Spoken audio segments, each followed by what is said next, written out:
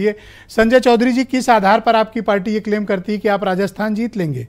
आपके पास नेतृत्व तो किसका है वहाँ पे?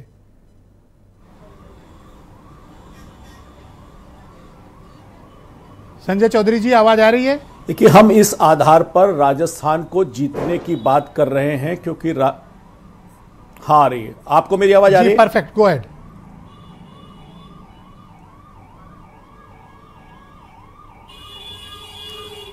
देखिए राजस्थान की सीमाएँ तीन राज्यों से मिलती हैं उत्तर प्रदेश से मध्य प्रदेश से और गुजरात से। और इन तीनों रा, राज्यों की तुलना में राजस्थान में बैठा हुआ आम आदमी जब कंपेयर करता है कि राजस्थान में महँगाई उत्तर प्रदेश मध्य प्रदेश और गुजरात से ज़्यादा है क्योंकि महँगाई पर प्रमुख रूप से जो असर डालता है वो पेट्रोलियम डालता है पेट्रोल और डीजल वहाँ महँगा है। और महँगाई की दर राजस्थान में ज़्यादा है। दूसरी बात, बेरोजगारी की दर भी 26 प्रतिशत से ज़्यादा है, जो इन भारतीय जनता पार्टी के शासित राज्यों की तुलना में सबसे ज़्यादा है। तीसरी बात की अगर चर्चा की जाए तो महिलाओं के खिलाफ अपराध में, राजस्थान में महिलाओं के खिलाफ अपराध की दर पूरे देश में सबसे ज़्यादा है। और चौथा एक जो बात है कि जिस राज्य में, राज्य का नेतृत्व तो आपस में लड़ने लग जाता है, हमने देखा है हमारे सामने उदाहरण है उत्तर प्रदेश का ही उदाहरण है कि कैसे अखिलेश और शिवपाल जी लड़े थे सत्ता चली गई। पंजाब में हमने देखा है अमरिंदर सिंह और सिद्धू जी को कांग्रेस का जो सत्ताधारी दल था उसको लड़ते हुए देखा है। तो अगर सत्ता में रहने वाले लोग अगर सत्ता में संघर्ष करते हैं आपसी प्रतिद्वंदिता करते हैं तो हम्म। हमने देखा है कि जनता उन्हें स्वीकार नहीं करती।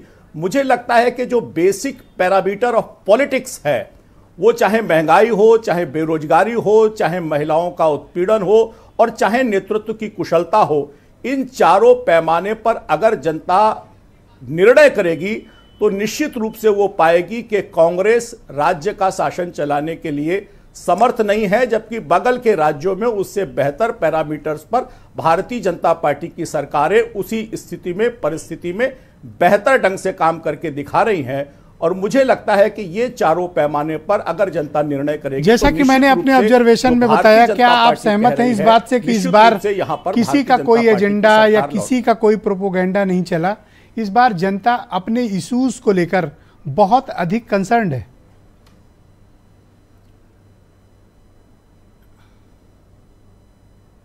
देखिए मुझे लगता है कि इसका निर्णय तो चुनाव परिणाम के आने के बाद ही बेहतर ढंग से सामने आएगा। क्योंकि कौन सा इशू चलता है ये चुनाव के बीच में उतना नहीं पता चलता।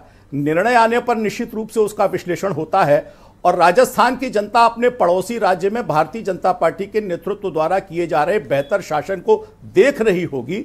और मुझे लगता है कि इसी आधार पर वो पा रही होगी कि समान परिस्थिति होने के बावजूद भी राजस्थान में कांग्रेस की सरकार जनता की समस्याओं के समाधान के लिए बेहतर तरीके से काम नहीं कर पाई और सत्ता का संघर्ष एक लंबी कतार है कि जब सत्ता में संघर्ष होने लग जाता है तो वो राजनीतिक दल जनता का विश्वास खो देता है। मुझे लगता है कि यह भी एक बड़ा आधार बनेगा।